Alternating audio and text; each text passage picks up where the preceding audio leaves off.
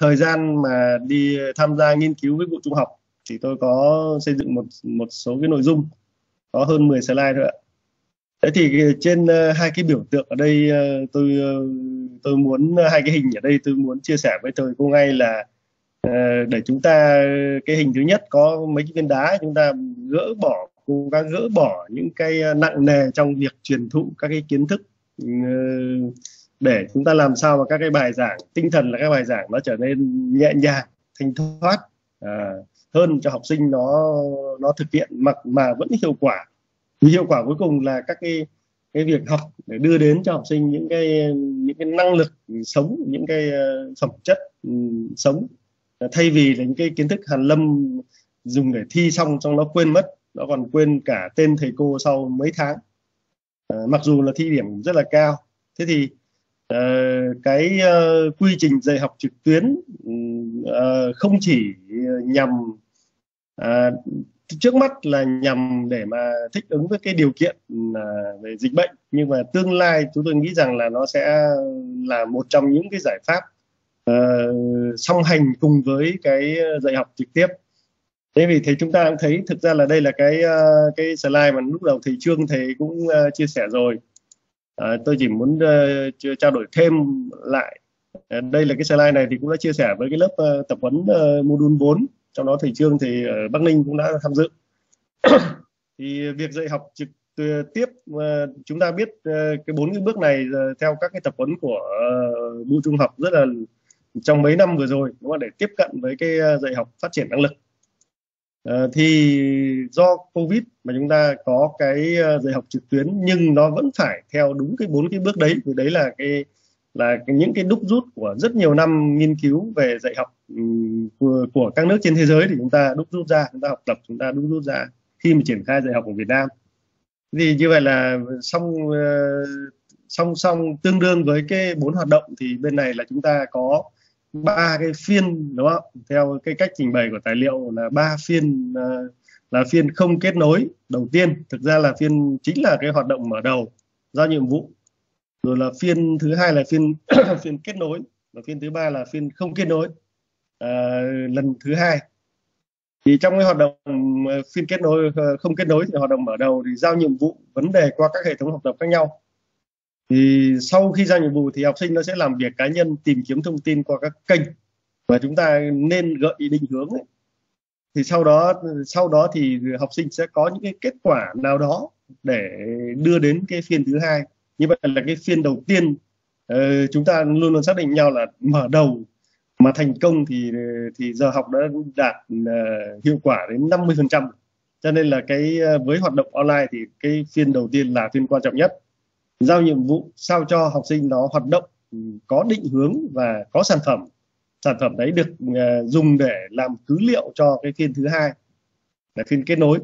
Thì ở đó chúng ta tạo điều kiện học sinh nó báo cáo kết quả ờ, và giáo viên sẽ ờ, hỗ trợ giải đáp hình và từ đó chốt kiến thức hình thành kiến thức cho học sinh.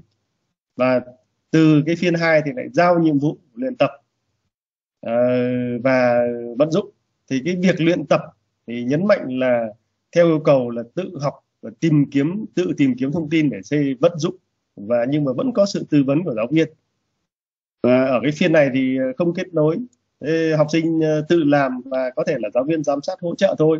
Đồng thời nếu có cơ hội ở trong cái kiến thức nào đấy mà có thể chúng ta cho học sinh nó vận dụng, thì vận dụng nhưng mình nhớ là không phải là vận dụng để giải các bài tập khó hơn, thì như thế vẫn là thuộc phần luyện tập và là vận dụng vào thực tiễn để cho học sinh nó thấy cái biểu hiện của kiến thức vật lý của mình trong thực tiễn.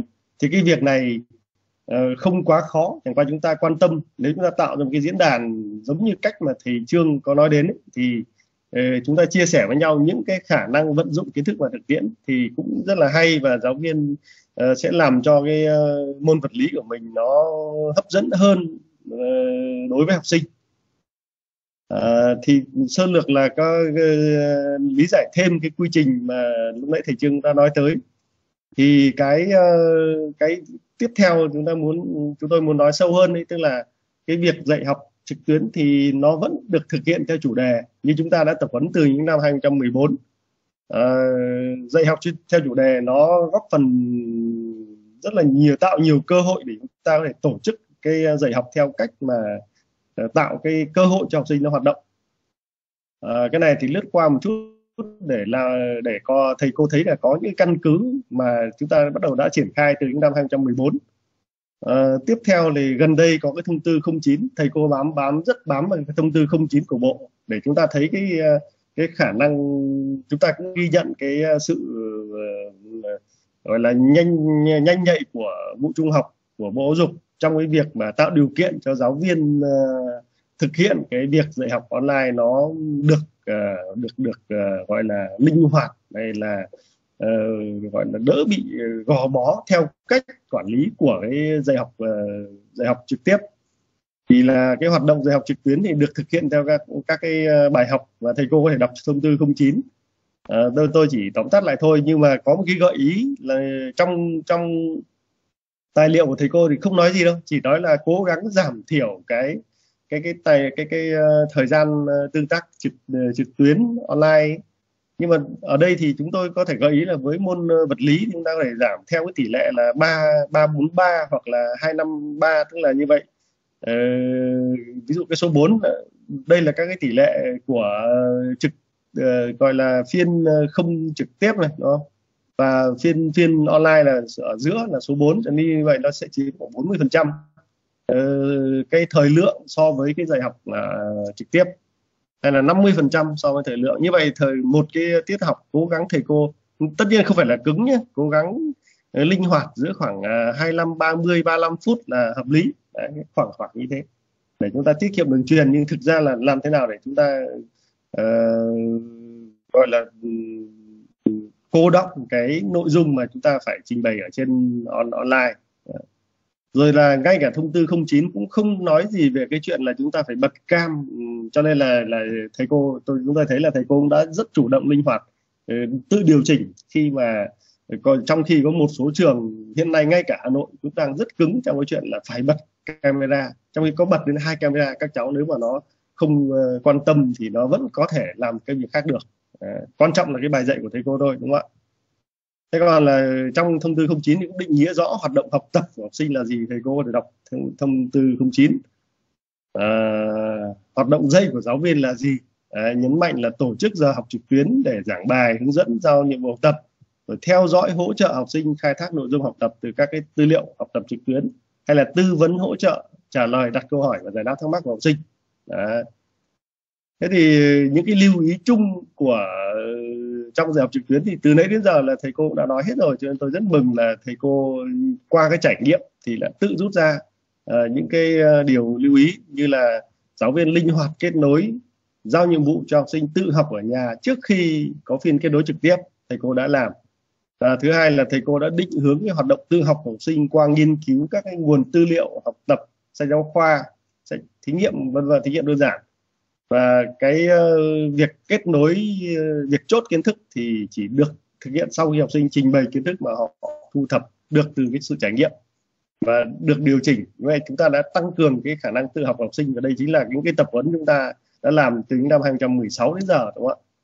Hay là việc vận dụng tìm tòi mở rộng thì nên được thực hiện sau một cái chủ đề bài học mà nó có gắn với cái điều kiện thực hiện đây thực ra là các lưu ý này thì là vẫn là các lưu ý chung cho tất cả các môn học.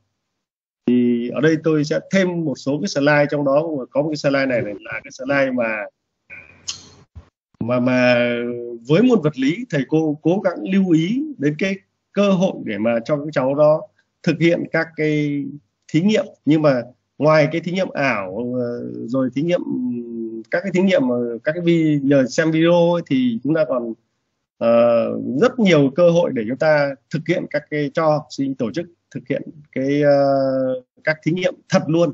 Thì ở đây tôi có một cái so sánh là một bên cái bên trái là các cái thiết bị thí nghiệm theo danh mục. Thì tôi tôi lại chia theo kiểu là các cái thí nghiệm mà để làm ấy thì nó có bốn cái nhóm. Một là đầu tiên là các dụng cụ đo đó ờ, đồng hồ rồi thước rồi uh, Ờ, vân vân. Đấy, thế thì ờ, thứ hai là các cái thiết bị cố định, rồi là các thiết bị vật tư hỗ trợ và các cái dụng cụ hỗ trợ để mà lắp ráp các thiết bị. Thì ở cái bên kia, nếu như bây giờ chúng ta ừ, muốn làm các cái ờ, thiết bị theo danh mục thì chúng ta phải đến phòng thí nghiệm. Nhưng mà không phòng, bây giờ không đến trực tiếp được thì chúng ta sẽ phải làm việc với nhau, bộ môn sẽ phải làm việc với nhau, ngồi sinh hoạt chuyên môn và giả soát là với những cái chủ đề này này. Thì bây giờ không làm trực tiếp được thì chúng ta phải làm uh, có thể nghĩ xem là xây dựng được những cái thí nghiệm như thế nào thì chúng ta phải ngồi với nhau và chúng ta làm xem. Rồi chúng ta ra soát ở bên bên tay bên tay phải này sẽ là các dụng cụ có thể thay thế là những cái dụng cụ nào. Thì cố gắng tận dụng các dụng cụ trong gia đình như là cân như là thước như là đồng hồ. Thì cái này ở nhà các con có đúng không ạ? Chúng ta quan trọng là sẽ dùng nó trong bài nào à, thứ hai là các cái hệ vật lý thì nhiều lắm. Một hòn đá một cục gạch một thanh gỗ một bình nước một cái bơm kim tiêm một cái bóng đèn một cái đèn pin hoặc là một cái ắc quy. Nhà này có nhà khác có thể cũng có nhưng mà nói chung là cái đồ này sẵn lắm.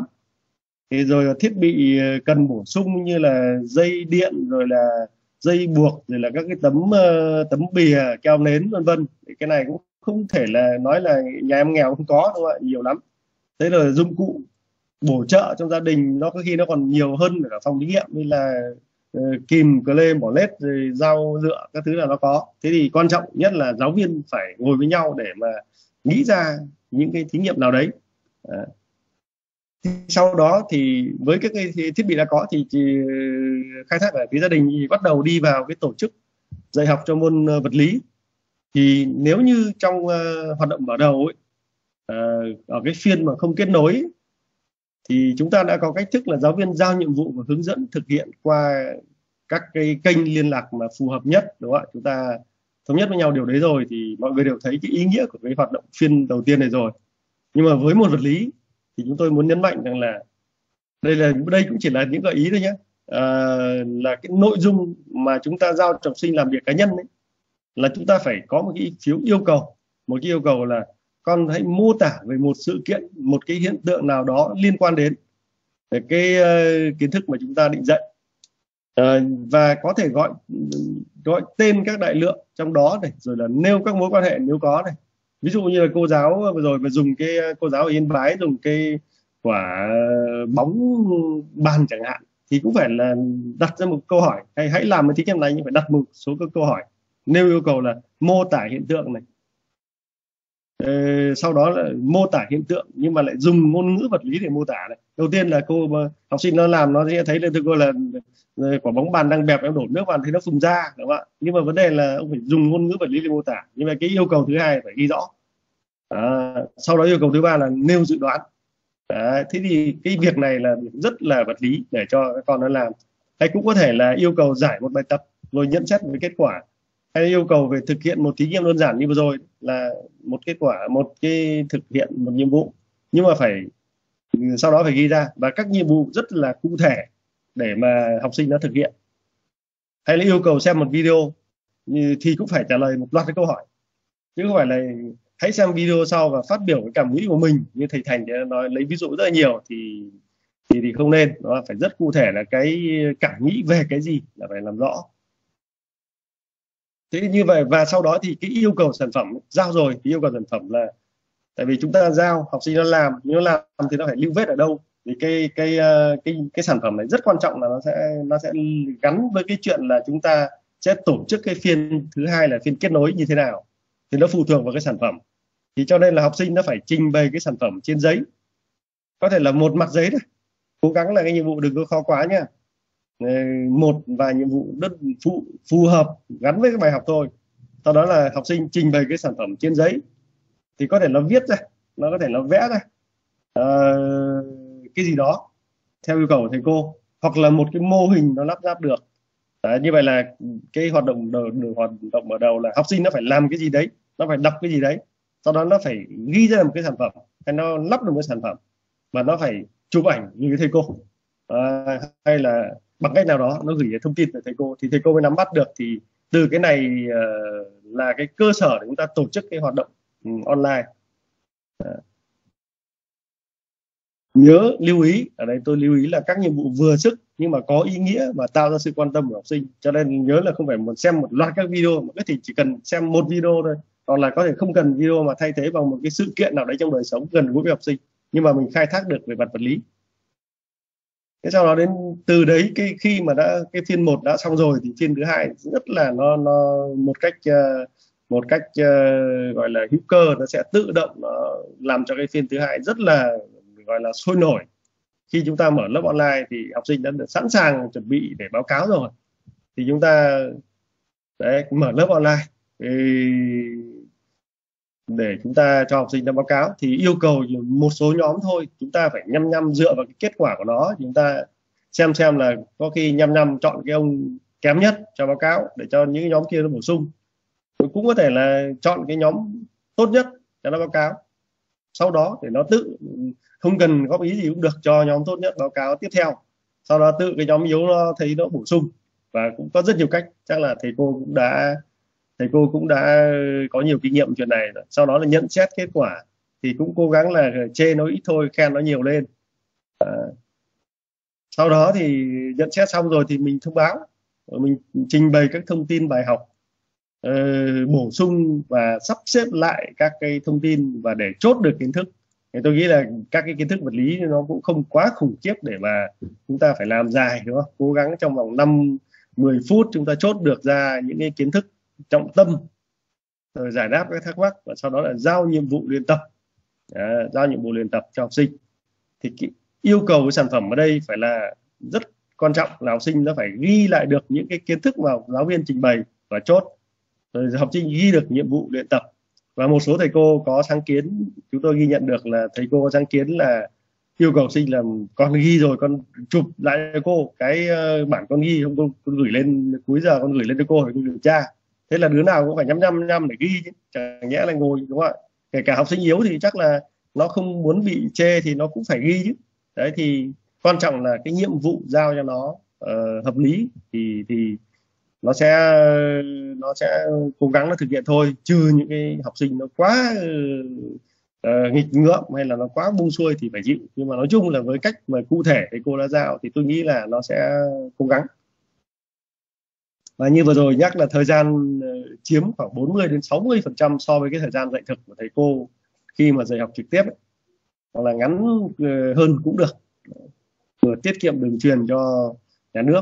Và cũng không cứ là cái này cũng lưu ý lại là không bắt học sinh nó ờ, không phải lúc nào cũng bắt học sinh bật cam đúng không? Có thể lâu lâu uh, cho xem tí uh, Ờ, uh, dung nhan thì bật lên xong nhìn thấy đủ thì lại tắt đi. Thì là đứa nào cũng phải ngồi đấy không phải chạy lung tung được. Đấy. Thế sau đó đến hoạt động luyện tập thì chỗ này thầy cô ờ, luôn là chuyên gia rồi cho nên tôi cũng nói nhanh tức là chúng ta giao nhiệm vụ ờ, luyện tập. Thì cố gắng ừ, cái này vì Việt Nam mình cũng chưa thoát khỏi cái chuyện thi cử đâu cho nên là thầy cô giao các bài luyện tập theo các dạng bài ở các mức độ khác nhau theo đúng tỷ lệ của cái đề thi. Ờ, 70 30 hay là 60 40 gì đó tôi cũng không nhớ lắm. Trong cái phân bố về cái ma trận đề. À, thế nhưng mà sau đó thì thì thầy cô cho học sinh các đường link giới thiệu các cái uh, video giảng uh, luyện thi đấy chinh phục các cái kỳ thi gì đấy uh, của VTV7 làm nhiều dạng hay lắm. Thì cứ cho cái giới thiệu cho các cháu. Thì nội dung học, hoạt động của học sinh mà chúng ta mong muốn ấy sẽ là học sinh ghi nhận được các phương pháp giải cho các dạng bài tập. Học sinh giải được các bài tập được giao. Học sinh tìm thêm các cái bài tập khác để luyện tập. Thực ra tôi rất mong là thầy cô, thực ra nếu, đây là kinh nghiệm thôi. Nếu mà muốn học sinh nó học tốt hơn thì không chỉ là thầy cô tung dạng ra mà có thể là thầy cô giao cho nó. Tự nghĩ xem là có những cái dạng nào với cái kiến thức đấy. Tự tự lên mạng đọc rồi nghĩ có những dạng nào mai giới thiệu với thầy cô và giới thiệu với các bạn thì thi xem nào nghĩ nhiều dạng và mỗi một dạng đấy thì có bao nhiêu bài. Xong rồi lời giải thế nào. Đấy, chứ không phải là thầy cô cứ bảo là hãy xem đây thầy cô thủ một số dạng rất là hay như sau chúng mày học đi. Thầy rất là giỏi thầy uh, có hết các bài rồi thì cũng đấy là một cách nhưng mà có một cách khác là cho các cháu nó tìm xong mình bổ sung sau. Đấy. đây là cái đây cũng là một số cái kinh nghiệm để luyện thi thôi. Tôi cũng uh, học từ thầy thành thầy thành uh, hồi xưa thì thầy cũng chia sẻ một số nơi tôi ghi nhận được chia sẻ với thầy cô. Đấy thì yêu cầu sản phẩm là lời giải bài tập rồi cũng chụp lại ảnh gửi cô. Thế là xong thì đứa nào nó phải cố gắng. Tất nhiên là giao vừa phải thôi đừng có khó quá thì nó uh, nó lại uh, kêu nó lại ghét mình nó bảo với bố mẹ nó là giao nhiều quá thì mình lại khổ. Uh. Hoạt động vận dụng thì cái này ờ, cái này ờ, chúng tôi rất khuyến khích thầy cô là tạo ra một cái một cái ờ, những cái chia sẻ chia sẻ để mà thầy cô cho học sinh nó vận dụng. Vì nếu không thì học sinh rất là chán. Nên hôm vừa rồi chúng tôi thi xong thi xong trung học phổ thông quốc gia là có rất nhiều giáo viên ở các địa phương gọi điện, nói với tôi tôi phải nghe 30 phút được cái kể với cái chuyện, kể khổ rằng là cái môn lý đề các thầy ra khó thế tôi có ra đâu. Ờ, nhưng mà để các thầy ra khó quá này, điểm lý thấp thì học sinh nó không chọn môn của em nữa. Nhưng mà thực ra thì tôi nghĩ bụng là cái mà chúng ta đang lỗi là chúng ta không cho học sinh thấy cái cái cái hay của môn vật lý. Cho nên là cố gắng trong những cái nội dung nào mà có điều kiện cho học sinh nó vận dụng ấy, thì cho nó thấy cái hay, cái đẹp, cái lợi ích của môn vật lý. Mà môn vật lý thì rất là nhiều. Tôi nói rất là nhiều trong các cái ờ, trong các cái ờ, đợt tập huấn rồi và đợt trao đổi với thầy cô rồi thì đây có một số gợi ý như, như, như tìm và mô tả một số biểu hiện của kiến thức vật lý. Thế thôi. Thầy cô dạy định luật ôm thì thầy cô ừ, bảo là thế thì các con về các con xem ở nhà mình có chỗ nào là điện trở chỗ nào là điện nguồn chỗ nào là điện trở. Thế thì khi nào thì nó chập ờ, chập điện thì nó chập ở đâu? Ví dụ thế. À, định luật ôm là định luật ờ, uh, hai Newton thì phải về xem xem là chỗ nào có lực chỗ nào thì có khối lượng à, nên tác dụng lực thế nào cho nó hợp lý để mà giữ an toàn cho cơ thể? Ví dụ thế thì đấy là những cái uh, những cái ứng dụng rất là hay và chúng ta có thể giao cho học sinh. Cái này không mất gì thời gian đúng không? Quan trọng là thầy cô vạch ra những nhiệm vụ thôi. Uh, tìm và mô tả biểu hiện này. Tìm và nêu cách vận dụng kiến thức trong các trường hợp có liên quan đến kiến thức đó này để mà có lợi ích. Hay là chế tạo một sản phẩm nào đó liên có liên quan và sử dụng được đúng không? đấy là những cái uh, chúng ta có thể khai thác. Ờ, ở cuối các bài mà cái này không tính điểm. Cho nên là cứ cố gắng động viên với con nó xong rồi chỉ cần nó báo cáo rồi thì khen nó câu luôn có gì đâu. Đấy, thì yêu cầu là bài trình bày ngắn hoặc là mô tả uh, mô hình sản phẩm được chế tạo. Đấy, tinh thần chung uh, chốt lại mà tôi rất uh, hy vọng là thầy cô uh, sau cái đợt này thì cố gắng uh, chia, chia sẻ cái tinh thần chung khi dạy học trực tuyến đối với các thầy cô ở các địa phương. Ờ, mà thực ra là cái này thầy cô đã nói rồi tôi chỉ tổng kết lại đây thôi ạ. Tức là thứ nhất là đảm bảo yêu cầu cần đạt đừng có nhồi kiến thức quá theo đúng cái tinh thần tinh giản. Nhưng mà nói thôi nhưng vẫn phải đảm bảo để các con nó thi được. Ờ, à, là tốt nhất là tôi thầy cô lớp 12 ấy, theo cách chúng ta luyện thi vừa rồi giao việc cho nó nó làm nhiều à. Nhưng mà làm nó phải hứng thú. Thứ hai là đơn giản thôi cho học sinh nó thực hiện được. Ờ, hai cái này nó gắn với nhau đúng không ạ? Nhiệm vụ đơn giản nhưng mà phải cụ thể thì nó sẽ thực hiện được. Thứ ba là phải đúng quy định theo thông tư 09 và dạy học trực tuyến. Nhưng mà cái thông tư 09 là rất là mở, nhưng thầy cô yên tâm. Ông nào bắt thầy cô là phải bắt học sinh bật cam thì phải dơ cái 09 ra để cãi, để bảo rằng là 09 em chả thấy bắt bật cam, cũng chả thấy quy định là 45 phút. Cho nên là em chỉ cần linh hoạt. Thứ tư là đánh giá được cái năng lực và trình độ của học sinh ừ, để mà động viên các cháu nó học và nhờ đó thì nó sẽ góp phần đẩy lùi được dịch bệnh và học sinh nó cũng đỗ đạt. Cho nên là đây có năm, sáu chữ D ờ, đính kèm với ờ, năm, sáu chữ ờ, năm cái chữ K để chúng ta chống dịch. Đấy là cái một số cái trao đổi của tôi đối với từ phía cá nhân đối với cái đợt tập huấn này. Còn tiếp theo thì